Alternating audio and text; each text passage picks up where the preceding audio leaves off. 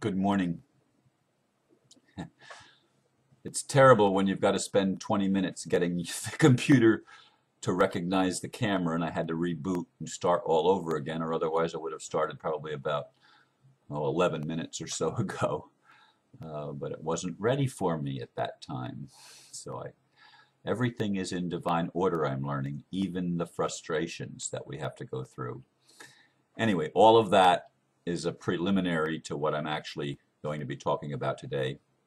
The title is Ninth Wave Divine Synchronicity Civil Disobedience. And I wrote a little blurb. What are the odds of getting two quotes about civil disobedience in the same day? It happened to me yesterday.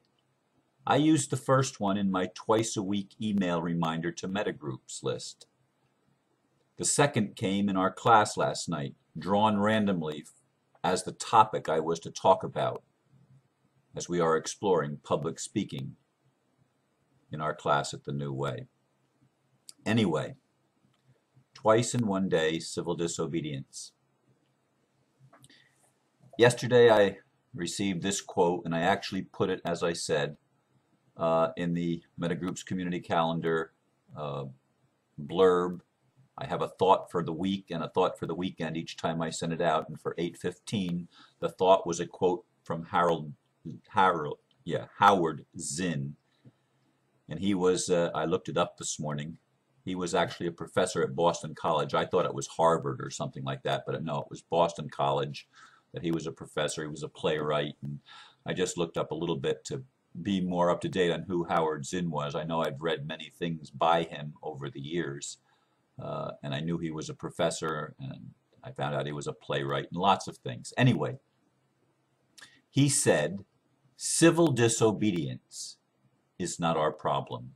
Our problem is civil obedience. Our problem is that people all over the world have obeyed the dictates of leaders, and millions have been killed because of this obedience. Our problem is that people are obedient all over the world in the face of poverty, starvation, stupidity, war, and cruelty. Our problem is that people are obedient while the jails are full of petty thieves and the grand thieves are running the country. That's our problem. Who I liked that, which is why I shared it with all of the people that are on my metagroups list, which is basically for the, a reminder for the community calendar to check the new events for the weekend. I do that every week, twice on Mondays and Fridays every week. And I'm getting off my topic by giving you the asides, but I want you to get the whole picture. As I said last night, I drew randomly from a little bag what was to be my topic for the public speaking class. And I drew this little piece of paper here. I don't know if you can see it on the camera. Civil disobedience, it says at the top. And they were all quotes from or things about Martin Luther King and quotes by Martin Luther King. And I'll read that one as well. King considered mass civil disobedience the next step in nonviolent revolution after mass protest. Civil disobedience not only transforms the legal system, it transforms the activist who practices it quote, Words cannot express the exultation, remarked King, felt by the individual as he finds himself with hundreds of his fellows behind prison bars for a cause he knows is just. An individual who breaks a law that conscience tells him is unjust and who willingly accepts the penalty of imprisonment in order to arouse the conscience of the community over its injustice, is in reality expressing the highest respect for law.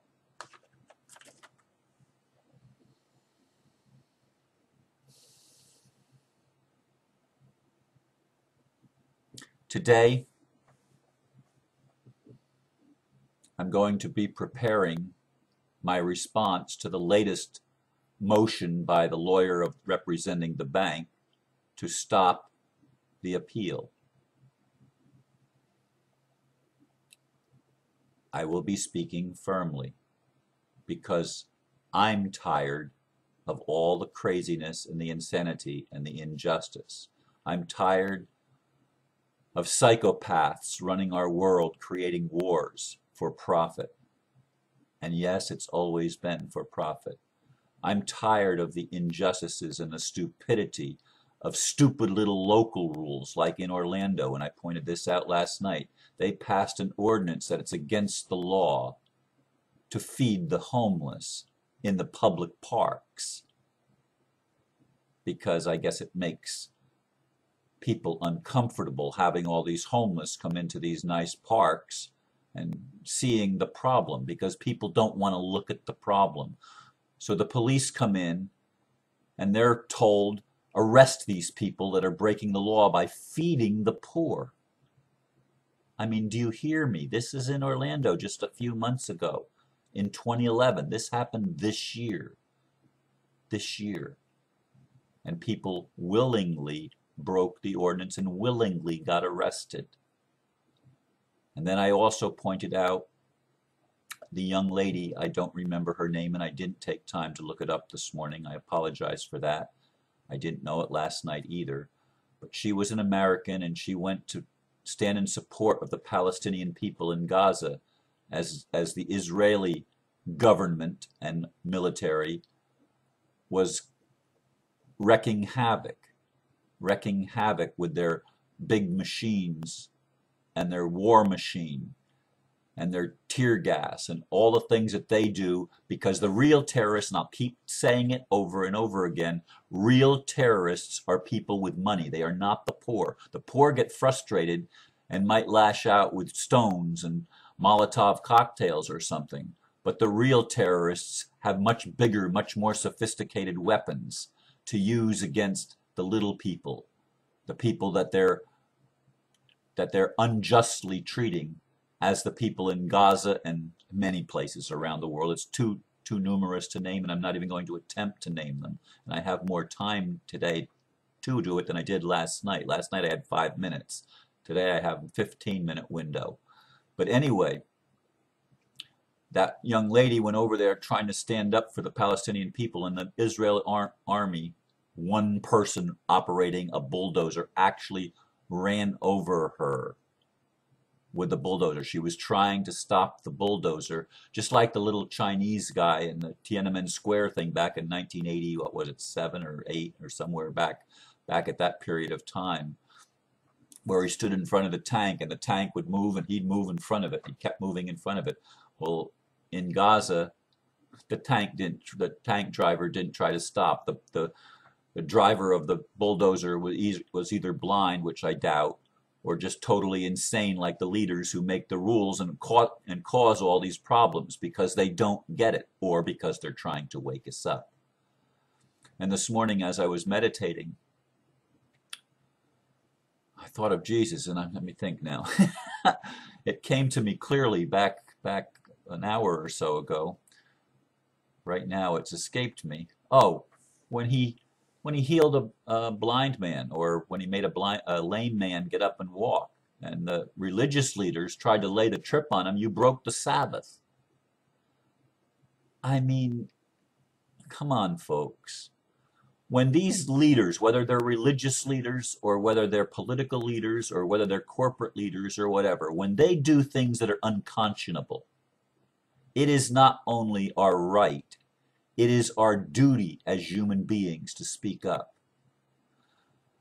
Now, last night, one of the speakers talked about injustice, and she took a King quote and she says, I think that one's bullshit. There is no justice in this world. And I don't think that this is her total message, but what I was getting is deal with it, live with it. There is no such thing as justice. People are born unequal. They're not born equal. Some are born with silver spoons in their mouth, while others are born destitute and impoverished.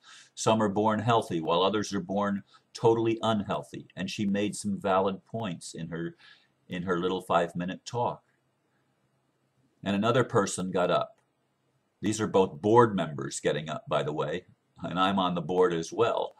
But these are two of the board members getting up, and the, and the second board member said, I remember things happening when I was growing up in the in the 60s. I remember things happening and we didn't get all riled about the Vietnam demonstrations and things like that that were going on back then. I'm, she says, I'm more aware of it now than I was then when it was actually happening, which to me was a beautiful sign of the awakening. People are becoming more aware of the injustices and the insanity of our, quote, leadership because we need new leadership. It's time to stop letting the dollar and other financial instruments run the world because these are fraudulent instruments and that's what I will be pointing out again in the appeal as I prepare the documents again today. It's time for us to stand up and stand up firmly and let our voices be heard. Here in the United States they have demonstration zones around some of the public buildings where you're only allowed to demonstrate in this little fenced in area. We're not allowed to take it to where the people can actually see it and hear it and know what's going on and know that the people are protesting. They have those here in the United States, the land of the free and the home of the brave. Give me a break.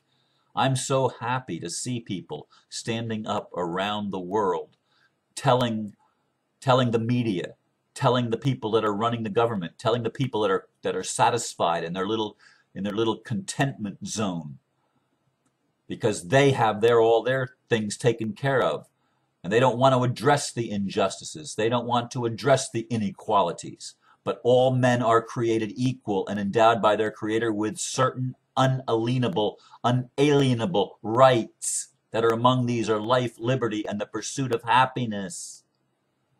These are not laws that are granted to us by a ruling elite or by a court system or by a corporate government, and that's all it is. All of our governments, the, doesn't not just the United States, all of our governments are corporate entities being run for profit. They're all being run that way, folks. And it's and this is the root, the root of all of the problems that we have in this world. It, we have a financial and a monetary system that is insane. And it's run by people that are maniacs absolute maniacs in service to themselves, but unconsciously, unconsciously, the inside job reflects the consciousness of the people. And we are awakening, aren't we? We are changing and turning the tide. We are becoming aware of the of the insanity of our system. And it's time to start speaking up and stepping up stepping up to the plate. I got an email this morning that I read a comment from yesterday's Recognizing the Inside Job video. And it, I think the person's name is Jack, but it's sort of buried in his handle on YouTube. But he wrote, Great points, Ron. I'm a spiritual warrior, and it's not easy for me finding peace in this world. All I see enrages me. And I think that is because so much of what I see is way out of spiritual balance. Sometimes I think spirit does a good job at keeping me angry or mad. I don't know why, but I guess it's so I can fight it the best I can. It can be hard at times knowing how good good things could be and living in the current world we live in. At least the world is changing a little quicker during this ninth wave. Indeed it is. And that's the point that I'm wanting to applaud everyone about. Look at the changes. Look at the people that are standing up and being civilly disobedient. And if you're one of the civil obedient people, remember what Howard Zinn said. You're the problem. Because when enough people stand up, there's no way the system can continue the way it has been. It's time for a change. That time is now. I leave you with these thoughts. Namaste.